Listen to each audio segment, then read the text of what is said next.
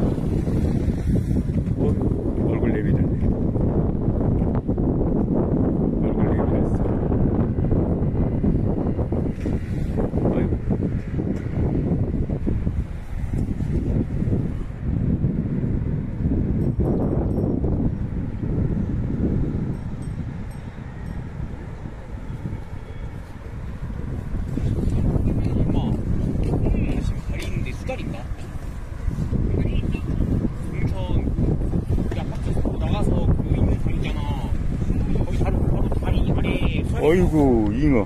큰거 봐라. 와. 잉어가 와. 잉어들 봐라. 우와. 수자리. 왔다 갔다 그 하면서. 그